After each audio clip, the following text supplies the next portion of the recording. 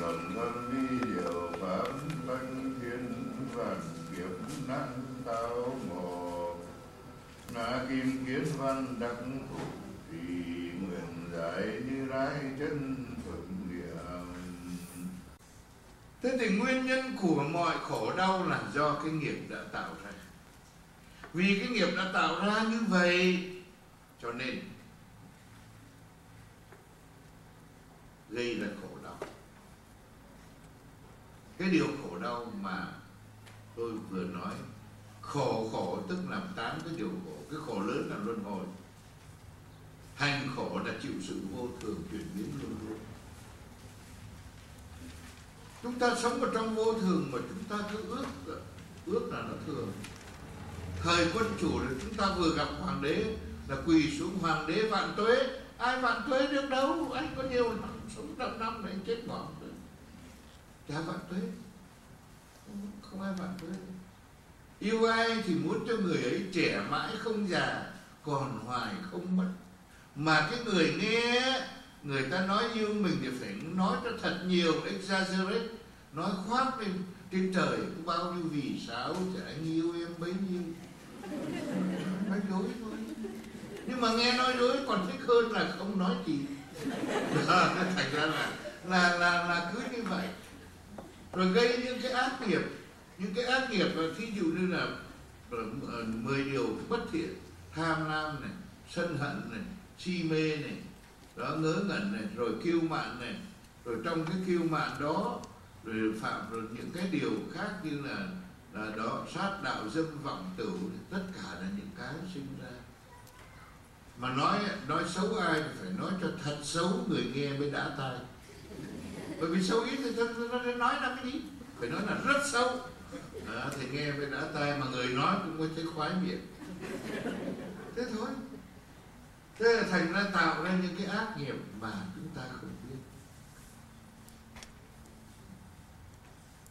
Những cái nguyên nhân của khổ đau là do chính cái thói quen nghiệp của mình từ vô thủy cho đến nay. Vô thủy là không có đầu tại sao lại không có đầu là vì đạo phật thấy không có cái nguyên nhân đầu tiên. Bất cứ một cái gì cắt, nương chừng cái vòng luẩn quẩn của nó, thì chỗ ấy là nguyên nhân đầu tiên. Nhưng mà nguyên nhân đầu tiên là một cái điên đảo vọng tưởng, một cái ý niệm vọng tưởng mà người ta tưởng là có thực thật không có. Không có nguyên nhân cái đó là phật gọi là vô thủy. Và còn mãi đến vô chung thì xin thưa, cái chân như, cái giác ngộ đó, thì nó vô thủy mà nó vô chung còn cái vô minh ấy, nó vô thủy nhưng nó hữu chung đã có rất nhiều lần tôi ví dụ một cái ly nước đục đây, thì trong cái đục ấy nó có phần trong cái phần trong ấy nó vô thủy, vô chung vì có đặt mãi thì nó không hết cái trong phải không? Mà ngay trong cái đục cái đục thế nào thì đục chứ bên trong cái đục vẫn có cái trong. Mà nếu càng nập thì cái đục hết chứ cái trong không hết. Do đó do vậy. Do vậy đấy, cái phần mê ấy, thì nó hữu chung. Mà vì mê nó hữu chung cho nên ta có thể tu tiến và chấm dứt những cái ác nghiệp để có thể trở thành ra trở về với bản thể chân tâm của mình để thành phật. Cho nên trở về với cái vô thủy cái bản thể vũ trụ bây giờ chúng ta ví dụ thấp hơn để chúng ta có thể dễ hiểu. Uh, thầy các đức dốt lại thì như vậy thầy các đức có cái dốt của thầy các đức cái hỏi thì có buồn không? Không. Tại sao không buồn? Là vì tôi biết tôi dốt nên tôi học nữa. Mà khi tôi học rồi thì cái phần stupid phần dốt của tôi nó hữu chung tức là nó hết. Nhưng mà cái phần không dốt của tôi không bao giờ nó hết các đạo hữu mà chỉ cho tôi mà đã biết rồi tôi biết rồi thì tôi đố các đạo hữu đòi lại được. Không. Nên nó nó, nó vô chung cho nên cái phần giác ngộ phần trong của cái nước nó còn mãi từ vô thủy đến vô chung quý vị quý vị đã hiểu chưa? Đó. Trong một cái chuyến đi dài như vậy nhưng mà đi bằng cách nào? Đi bằng cách nào mà đến cái vô cùng được và sống mãi được đi bằng cách là tạo các nghiệp thiện. Và đây, đi ờ, bằng các nghiệp thiện, khi tạo các nghiệp thiện thì được cái gì? Cho nên khổ này, tập là nguyên nhân của đau khổ này. Đã diệt là niết bàn. Đức phật đưa cái quả ra trước và nói cái nhân sau khổ là kết quả và tập là nguyên nhân. Đã diệt là kết quả và đạo là nguyên nhân diệt là kết quả là gì là đến một cái nơi gọi là thường là ngã tịnh không còn vô thường nữa. Không còn khổ đau nữa. Là lạc ngã lạc đã có chủ thể và tồn tại đời đời. Thì đó là ngã. Tinh là sự trong sạch, không còn nhơ nhớp nữa. Thì thường lạc ngã tịnh đó là gì? Đó là niết bàn nhưng mà làm sao đến đó là thường được? Cái gì là thường vậy? Vua a tư nặng ba tư nặng tức là vua Panasadi đó là tiếng phạm bạch thế tôn có cái gì thường không? Này, vua ba tư nặng ngươi có cái tánh biết của ngươi là thường đấy nhà vua có bao giờ thấy sông hằng không? Bạch thế tôn lúc còn nhỏ con đi theo mẹ con ra lễ thần sông hằng con có thấy có sông hằng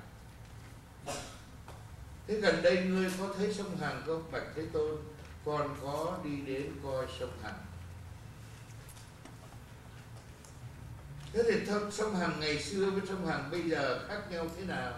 Bạch thế tôn sông hằng ngày xưa rộng hơn sông hằng bây giờ sông hằng bây giờ nước cạn bớt đi rồi, thành ra hẹp hơn.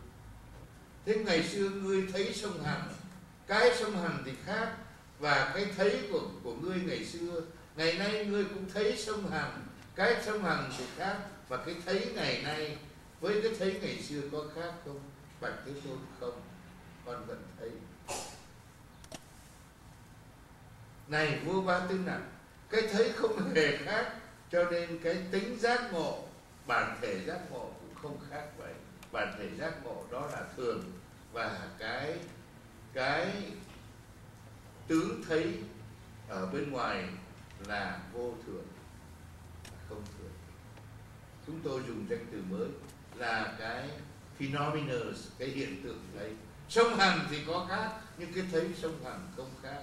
Và chúng tôi thường ví dụ với quý đạo hữu nhắm mắt lại đi thấy không dạ thưa có thấy tối mở mắt ra thấy không và thấy sáng và thấy muôn vật. Thì sáng và muôn vật khác với tối thôi nhưng mà hai cái tánh thấy tự nó không hề sai khác gì cả.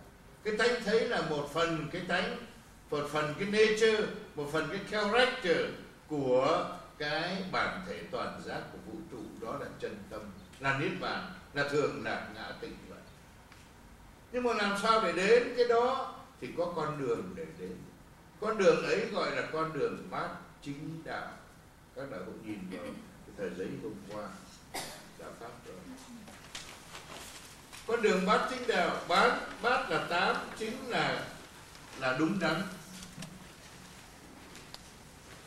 Đạo là con đường tiếng anh dịch là the eightfold noble path eightfold là, là bát đấy tám noble path là tám con đường cao quý.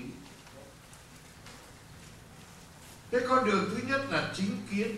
Nếu không có chính kiến thì mọi việc sẽ sai hết.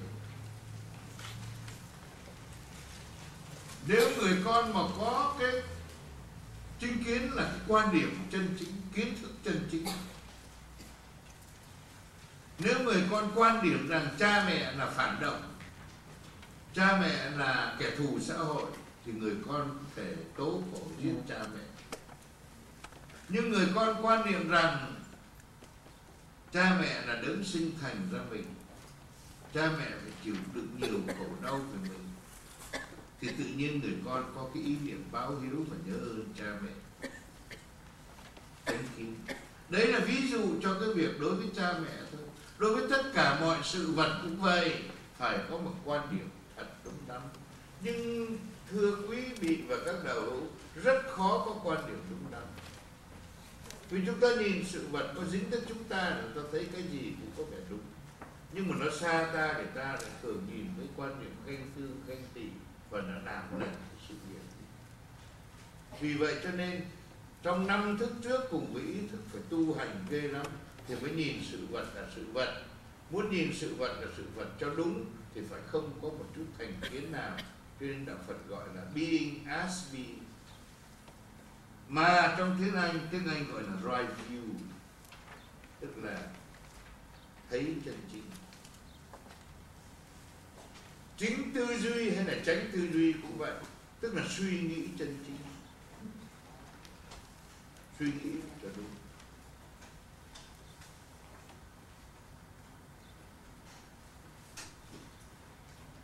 Nhưng mà cái tại sao cái suy nghĩ với cái chánh niệm này thế nào? Suy nghĩ là suy nghĩ trước mặt một vấn đề nhưng mà chánh niệm là giữ lại một ý niệm gì cho thật vững vàng. Là chân chính dưới cái chữ, chữ F đó. tránh tư duy. Vì vậy cái tránh tư duy ấy phải sử dụng cái một cái trí tuệ mà Đức Phật có dạy. Không giống như trí tuệ của không giống cái phương pháp thấy của Tây phương. Phương pháp thành là đôi khi trực giác không có trúng được tí nào. Nó phải có một trí tuệ nào để soi sáng.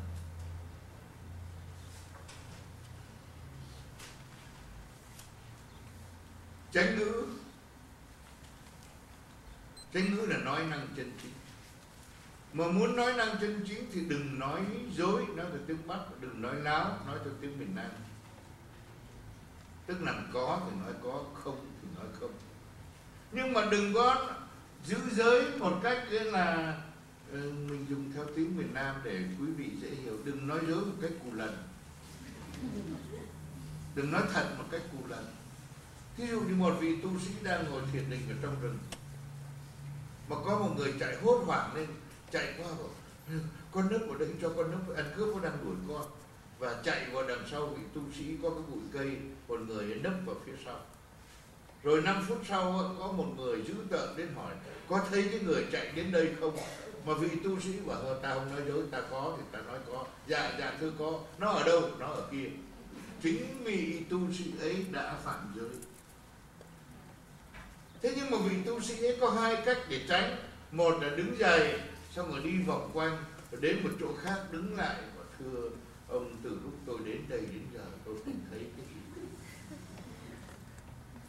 Thế đấy là cô kỹ thuật hóa vấn đề là không nói dối. Hoặc là nếu là một vị bồ tát nói dối ngay tức khắc, không, tôi không thấy gì hết.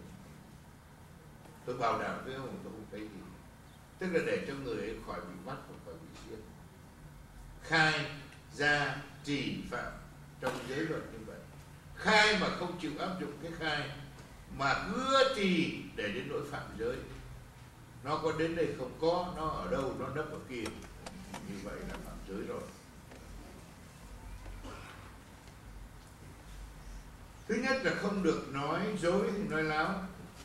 Thứ hai, không được nói lưỡi hai chiều. Nói lưỡi hai chiều là ở bên này nói bên kia xấu và bên kia, bên này tốt. Sang bên kia lại nói bên này xấu, ở bên kia tốt là làm hai chiều làm hai bên chia rẽ nhau. Thứ ba là không được nói theo dệt.